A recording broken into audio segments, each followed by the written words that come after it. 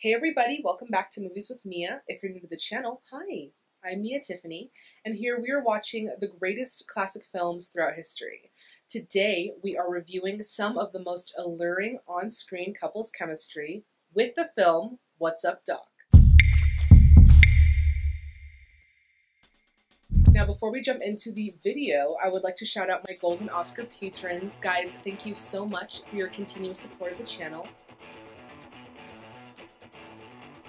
And if you're interested in becoming a VIP Tiffany Club member, then I highly encourage you to check out that Patreon link, which is in the description box below. Finally, I wanted to say officially on camera that we have dropped merch. Oh my gosh, I'm so excited to share this with you guys. I'm actually wearing the long sleeve shirt. It's super comfy. We also have regular t-shirts, we have hoodies, and we have MWM mugs. So if you're interested in looking at our new merch or just checking out the brand new website, the link is in the description box below. It is www.miatiffany.com. Go check that out and tell me what you guys think. Okay, on to the video. What's Up Doc was released in 1972, directed by Peter Bogdanovich, starring Barbra Streisand and Ryan O'Neal, with other notable performances by Kenneth Mars, Austin Pendleton, Sorrell Booke, Michael Murphy, and Madeline Kahn. Okay, at this point, we are going to get into some historical background. For those of you who want to jump right onto the film reaction, go for it. But for those of you who want to stay, we're going to get right into it. Director Peter Bogdanovich wanted to create a film inspired by many of the screwball comedies of the 1930s and 1940s. He also had a chance to work with Barbra Streisand, who had been an admirer of his since his release of the film The Last Picture Show in 1971. So once Barbra Streisand signed on to Bogdanovich's project, she actually secured a role for Ryan O'Neal, who she was dating at the time. Upon its release, What's Up Doc was received really well by the public and it actually went on to be named the best original comedy by the Writers Guild of America. Okay, on to some interesting facts. So Streisand wasn't really pleased with the outcome of the film despite its high praise. While she did trust Bogdanovich's direction, she didn't particularly find the premise of the film funny, which is understandable because screwball comedies have a very distinct type of humor, so I understood that as I was researching. Despite this, Bogdanovich really wanted to highlight Streisand's comedic talent and showcase her the way that he had seen her. Quote, funny, cute, charming, and kind of a wise ass at the same time, unquote. With that being said, this is my first time watching What's Up Doc, and I'm so excited to get into it. But before we do, y'all know the deal. If you haven't already, please subscribe to the channel and hit that bell notification to stay in the loop. All right, everyone, it is time to grab your snacks, grab your drinks, get cozy, and let's get in to What's Up Doc.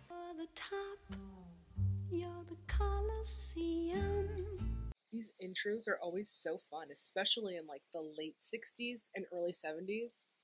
It gets more exciting.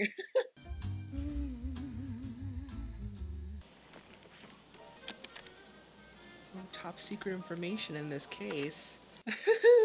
so we know it is a very important case of some sort. His eyes are just glued to this man walking. Oh.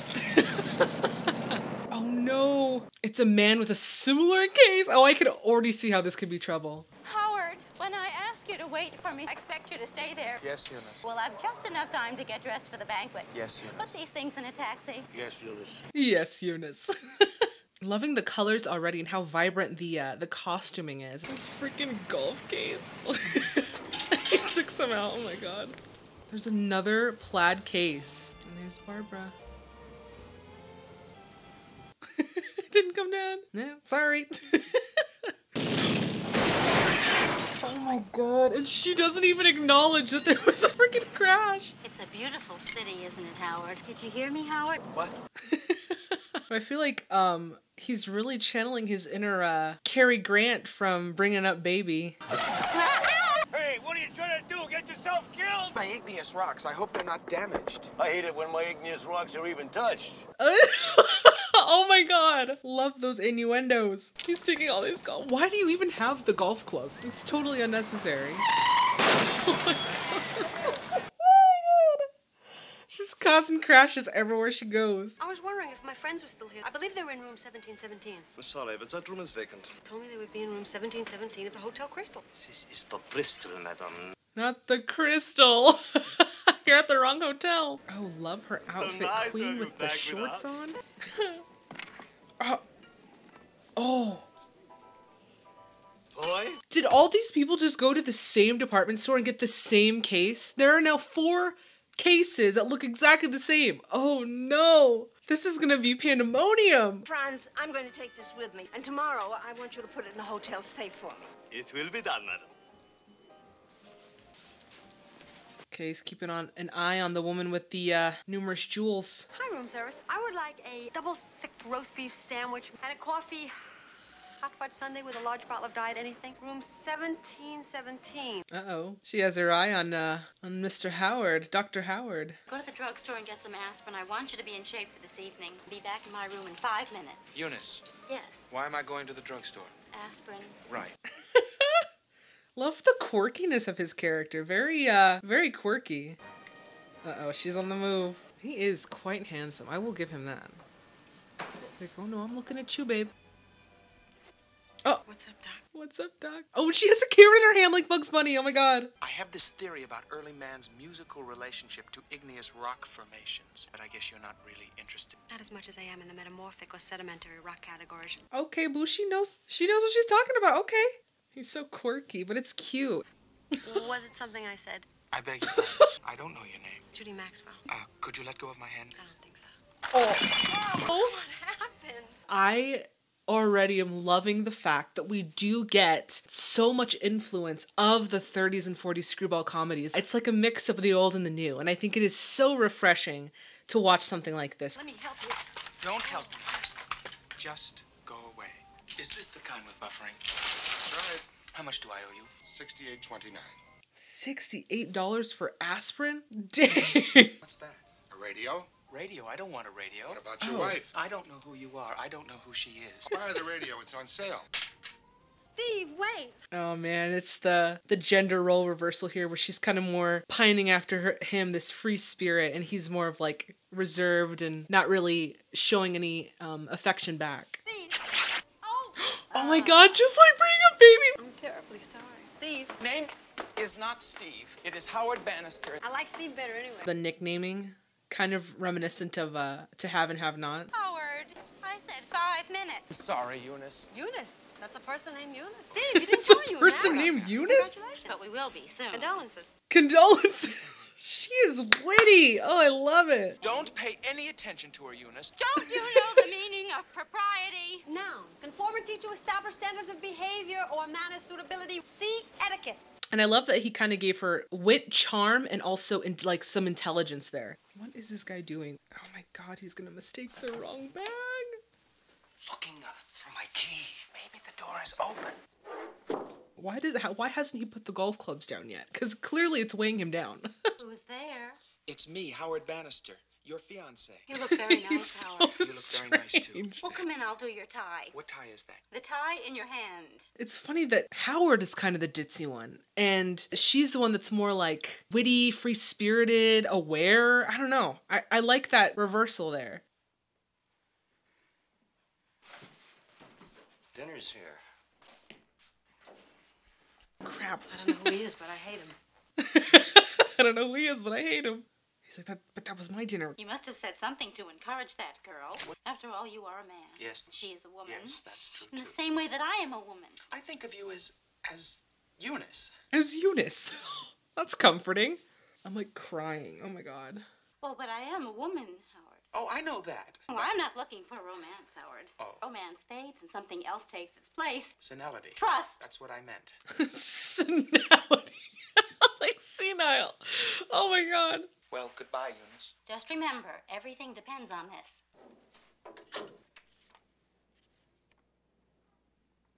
There's so much detail that he paid attention to. You can tell he really had a appreciation for old screwballs. Mr. Larrabee, it's a privilege Oh my to God, meet that's you. I'm Dr. him. Howard Bannister. And I'm your head waiter. I'm your head waiter. Here you are, sir. Thank you. I don't drink. And it's backwards. down, sir. oh, Dr. Bannister. He's just. We need to protect him. He's gonna steal. Oh my god. Who is this guy? That's the freaking case with the jewels Hello? in it. Give me the chief. I got the documents. Bogdanovich really put his own flavor into this, but he didn't sacrifice a lot of the old themes. Mr. Larrabee, I'm your Simon, Mr. Larrabee. Yes, indeed, and I, I believe this must be Mr. Fr- I want you to know that I personally have nothing but Oh my god, how awkward is this? Oh my goodness. I'm like, sir, can you please release my hands? Kindly. Believe me, I understand. And now, if you don't mind. Oh. terribly sorry. Dr. Banner. Oh my god. Why won't he just put the drinks down? Just put them down on the table. Good evening, Professor Hosquith. This is Howard Bannister. Oh, your fiance was just telling us about your most incredible adventure in the sky. what adventure did I have? Oh, to tell us all about it, Bannister. I'm so used to seeing, you know, like the slick back hair and everything's all primp and but we're getting to the 70s where things were a lot laid back. So it's kind of a trip. How do you do? You! Eunice, Eunice, Howard. Eunice. How? Probably the excitement of meeting you for the first time. I must say I could feel it myself. Oh, can you? Oh my god, I love her free spirit. My heart is going a mile a minute. Can't you feel it? Yes, I think I can. And they're pounding. It's, it's amazing. You should feel it, gentlemen. Oh my god. Sit down, gentlemen. You should feel it, gentlemen. They all stand up. Foolish consistency is the hobgoblin of little minds. Emerson. You like Emerson? I adore him. She's a delight, Bannister. Everyone calls me Burnsey. Princey. Uh-huh. Goodness. Help? Help? Oh, Eunice is gonna. Oh my god, she's gonna be freaking out, bro. Uh oh. Okay, this is the top secret case. The one, the shady guy with the top secret files. So we already have a case mix up here because that guy was going after the case of the jewels, but then the guy with the golf clubs was going after the case of the top secret files. So there's already a case mix up. Oh no! This is not Eunice Burns. This is not Eunice Burns. I believe I can prove that actual melodies really existed as far back as 7 million BC. Howard has had discussions with Leonard Bernstein about conducting an avalanche in E flat. I can tell that he really did try to give Streisand the, the spotlight. And she's taken every inch of that spotlight. She is just shining on screen. I got the jewels. Get out of there, but don't let anyone see you. Right. Fritz. Oh my god. Where did the second one come from? Wait a second. I wasn't paying attention to the room numbers. You have got to get out of here. What was it, Bannister? Some incredible adventure you had on your flight here. It all began shortly after we passed the point of no return. I think we just passed. I think we just passed it. I love their character dynamic here because she has this fiery personality, very free spirited, and then you have Dr. Bannister, who's very reserved. It's working so well in this film. This lady claims to be a Eunice I am Burns. not a Eunice Burns. I am the Eunice Burns. Perhaps you're at the wrong convention. This is outrageous. I've got to talk to you. There goes my napkin. There goes my napkin. Oh my god, she's so quotable. Steve, you don't want to marry Eunice? I'm not Steve. You two just can't keep away from each other. Now we're having a going on? we're having a chat under the table. What kind of wine are you serving at table one? what kind of wine are you serving at table one? Some of the jokes are very, are rooted more in a modern time, so I connect with the jokes more. You know. If you win that grant, you can consider it her victory as well as your own. You follow me? I certainly do. Oh, Eunice is getting in no matter what. She's like, I am getting into that banquet. Tell them who I am. You tell them who I am right this minute. I never saw her before. I never saw her.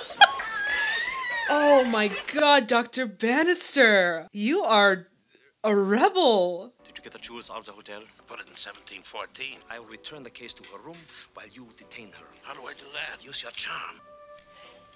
Oh, that's charm? oh my god, that's terrible. One of our regular guests has lost his pet snake. Poor Eunice. Bathroom for a few moments. Oh my god, that's either way would have been the wrong case because he took the one with the top secret files. So now I think he has Dr. Bannister's case. If I'm keeping up with it all right. She's like, get away from me. She's like, get away. Oh my god. She's fighting him. Oh my god. Why does does he keep trying to trip her? That's not charming. Oh my god. We've got that Larrabee Grant virtually sewn We? up. The point is that you think that he'll think that you try to put something over on him and it's bye bye 20,000 smack. Right. That money would enable me to establish certain proof for theories of. Must you stand quite so close? There is sort of something behind her eyes. You can really see that there is a natural chemistry between them. And again, I, I think that's because they were dating. I want you to go away now. Oh, come on, Steve, give me a chance. When you get to know me better, you'll really like me. I won't like you. Goodbye. Let's just say au revoir. No, let's say goodbye. That's what they all say. That's what they all say until they do. oh god, no, these cases are getting all messed up. I'm trying to stay on top of the cases, so I think the one that's in front of that room is the one with the top secret files. I think. She tied that real tight. he just rips it off. Hello out there. He's all rustling, poor guy. Shut up! I believe you dropped something. I also like how we're definitely out of the Hays Code, so you get a lot more funny adult humor. You can play with that more, you know? I'm calling the police. Who do you think they'll arrest? The girl in the tub or the guy with his pants down? Why to me? Why me? Because you look cute in your pajamas, Steve. Get out! Right now? Yes! No! no! Oh, and then Eunice is gonna walk in. Howard, what's going on in there? You don't have a bathrobe oh. I could put on, do you, Steve? I'm coming in! Eunice is coming. You're here, like that, and I'm going to jump. I'm going to jump. God, I love the dialogue. This is great. I would like the key to 1716. Sorry, lady. I'm looking for supplement 1717. No, it Oh my god, please don't jump. 1717 sounds like he's on the 17th floor, so please don't jump. What's that? That's a bath, Eunice. Since when have you taken bubble baths? I think I lost track of the cases at this point, and now he's looking for the case and it's not there. This has more of like a purpose, like everything kind of connects, you know? That's why I kind of like this a little bit more than bringing up baby. Good evening. Oh god. Where do you want it, ma'am? I don't want food. I hear knocking. It's your nerves. Oh! oh my god, and she only has a towel on. Do not let that towel drop. How did she not see her in that moment? You are screaming, Eunice. Eunice. Oh, I just talked about not so much chaotic humor, and yet look at all this. Oh my god.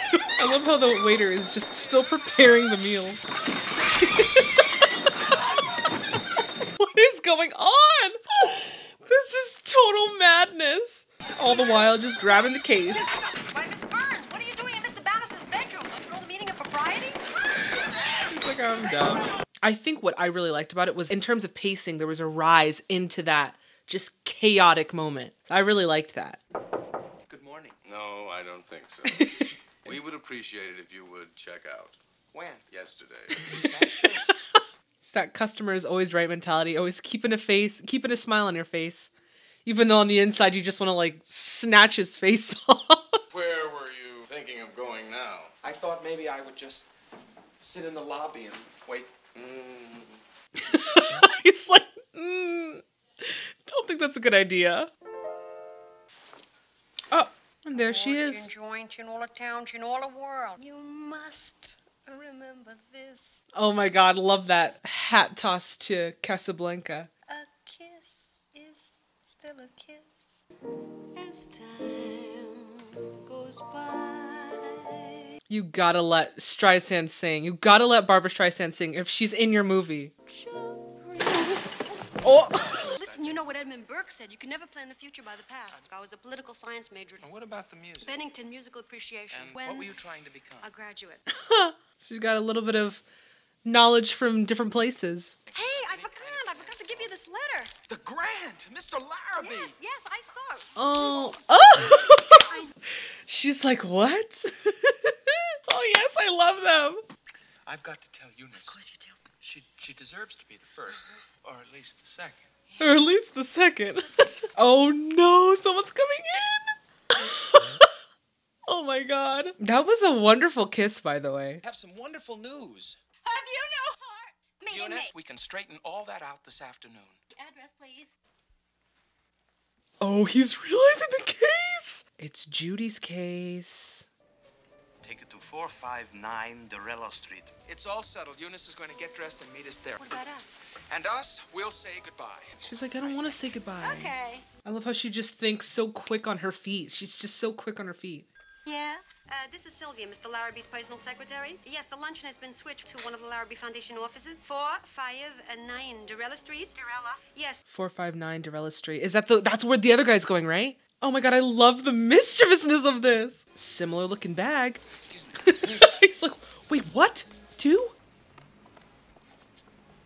And She has again, like I said, this eye contact with him. It just really adds to the the realness of of her affection towards him. You know. Oh, queen with the pink. oh my god, I love it. Complete breakdown right in the middle of the hotel. You're sure this is right address? You don't want me to wait, do you? Yes, I do. I didn't think so. I didn't think so. Oh my god. She sent her to like some random, like, oh no, Eunice. Oh my gosh, the freaking staircase is like half broken. Hello? Hello? Uh, hello? Oh, I love that. The fact that they have the camera moving with her backwards on her face and then towards the door looks a very 70s slasher film. This can't be the Larrabee. What on earth are you doing with Howard Bannister's rocks? It's like, what, lady? Oh my god. Oh no! Which means that they have the top secret files and the jewels. Congratulations, Howard. Thank you, Mr. Larrabee. I want you to come with me, Burnsey, and meet my friend. Wait. just everything about this era is just so much fun. My natural curiosity was aroused, Mr. Buncaster and Miss Burns, and I think I that this think it entire can wait. I love how that guy has like a really awkward piece of hair that just stays like right there and it moves weird, but it works. Patient, let me Oh. Uh, try to point out. Wrong case. I think a slight mistake has been made. Nobody move. Furchtbar. I want that case. Which one? What? oh my god, this is so bad. Uh, oh my god. Throw that up here. Howard, they've got your rock! Don't down the case. Oh, For God's sake, don't shoot me. I'm part Italian. Button it. I'm part Italian. what does that mean? Oh my god. Oh. Oh. Oh. Oh my god. The chaos. what is the maid doing? oh my god. I don't know what it is about people being hit by like things, but it's so funny. There's random people just like shooting guns. What's going on? Wait, wait, how are your legs? My legs. Oh, never mind. Get push. And off we go! Oh my god, this is hilarious. Oh, I love her pantsuit. So cute. oh my god, oh my god, oh my god.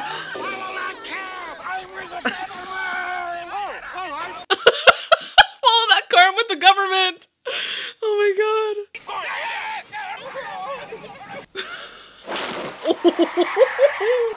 Poor car. Oh my god. oh no. I've never laughed so much on camera before. Oh no! What is it? Don't ask. Don't ask. Just keep going. Right underneath, right underneath.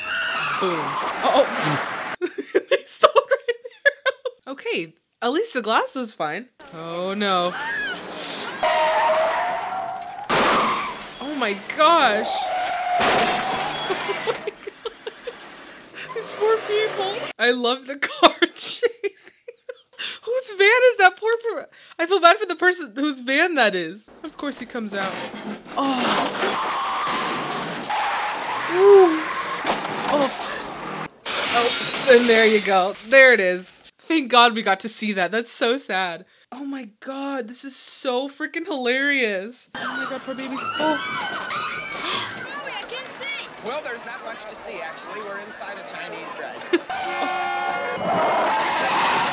There are so many car crashes in this film. Oh my god. Well, there goes all the trash too.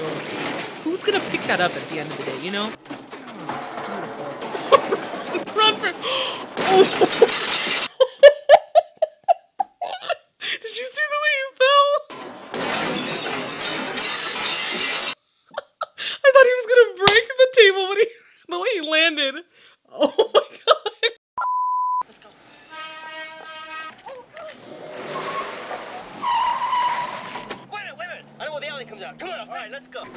It's not just this bubble of characters, it's this bubble of characters who are now influencing the rest of the residents of San Francisco. It's very cool. This is a terrible thing. But I loved that camera movement. I'm sorry, we'll be right back. The fact that he didn't put any music behind this either. It's just all of the like car screeches is so brilliant. They must have the they must have luck on their side. She closes her eyes. Don't close your eyes. Man. Look at all that sand. I love how the guy at the convertible would just was absolutely okay with driving this random dude. I think I better turn down there just to be sure. Oh no! Turn it around, baby.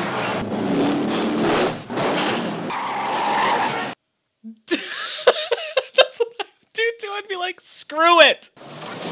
Oh my god. These cars. I can't believe they're still on them though. Wow, that is amazing.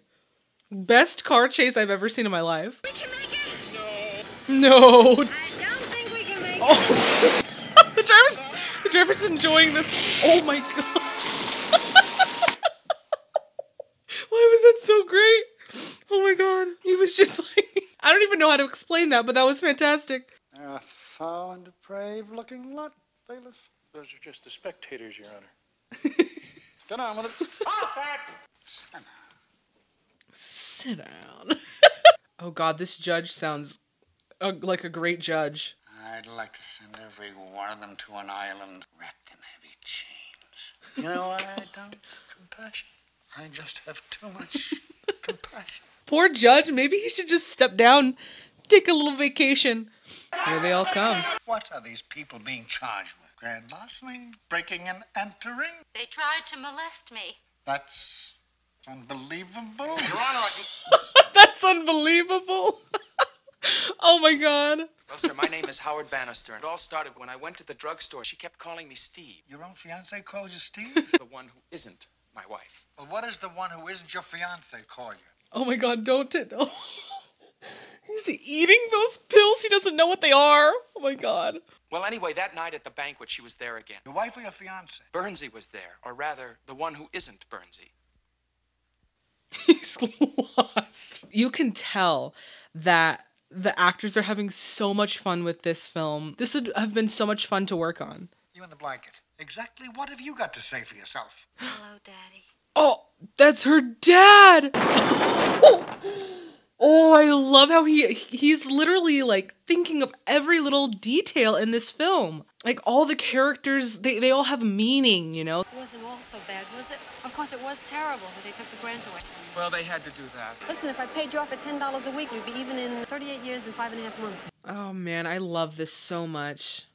You really do get that screwball sense. Ah, your check. It's very nice. Develop this theory. And one. The fiddle my proposition. I don't know what Sure you do. I don't. The controversial Findelmeyer proposition. Did he steal his theory? He stole his theory. Simon, you snake. Simon, you're a plagiarist. I don't like you and I want you to go away. The foundation will make out a new check and send it on to you. I've asked Eunice to stay on with me for a few days. Aw, she found her little man, okay.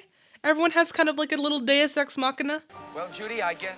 Oh, Judy. Go grab her, dude. Go get your girl. Let me guess, she got on the same plane as him. What's up, Doc? I kind of love though how at the end there we things kind of got patched up. Did you happen to know that I love you? Oh, Yeah. I love how quirky he is. I'm sorry. Love means never having to say you're sorry. That's the dumbest thing I ever heard.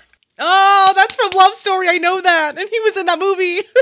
that was so good. That's all, folks. Guys, that was so freaking hilarious. I was not expecting it to be that funny. Because let me tell you, as much as I love screwball comedies, I feel like there is sort of like a, a disconnect because comedy evolves, right, throughout the years. So, you know, you watch it and you kind of miss some of the jokes. But the fact that these jokes had way more of a modern feel, and even though it was from the 1970s, it was still very. Um, like recent to the time that we're now. I just think that it was so freaking well done, so hilarious. I loved this setup, and you really could tell just sheerly by the detail um, of what Bogdanovich put into this movie. He really had such a high appreciation for screwball comedies. I mean, I think he did it such justice, especially introducing it to an audience who may not have been aware with of screwball comedies at the time. Um, to really make it very natural for the for the era. I think that he just did such a fantastic job. He really did let Barbra Streisand shine in this movie. And it is so like crazy to me that she didn't find like the the uh the premise of the movie funny. I thought it was so funny. And what she brought to her character really highlighted a lot of the film's chemistry that she had with Ryan O'Neal. Um, the fact that she was a lot more free spirited and he was a lot more like reserved really just meshed so well.